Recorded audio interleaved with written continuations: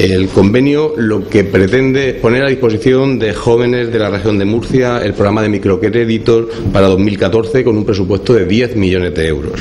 Facilitar a que jóvenes emprendedores puedan acceder a ayudas de hasta 25.000 euros para desarrollar actuaciones de autoempleo y así como otras iniciativas empresariales.